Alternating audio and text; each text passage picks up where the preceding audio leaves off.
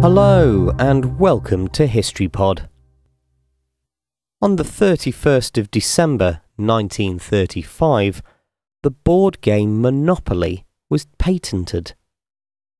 Although the patent for the game was awarded to Charles B. Darrow, a Philadelphia heating salesman who had lost his job during the Great Depression, it's now widely recognized that Darrow was just one of many people who led to the development of the complex design and rules that we now know as Monopoly.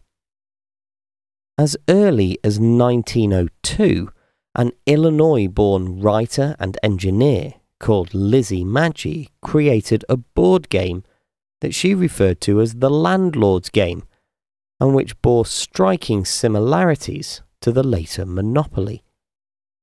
She patented this game in 1904 and approached Parker Brothers with the idea in around 1910.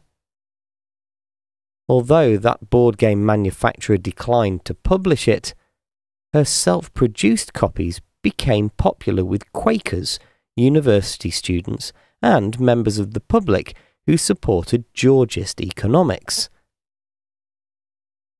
Magie, by now married and with the new name Phillips, repatented an updated version of the game in 1924 when she was again turned down by Parker Brothers.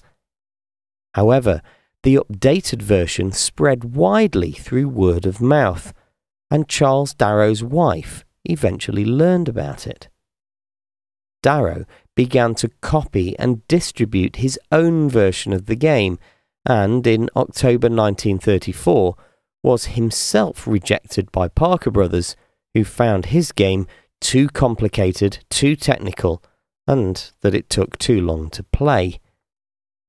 However, successful Christmas sales of Darrow's game led Parker Brothers to reverse their decision and bought the game from Darrow in March 1935.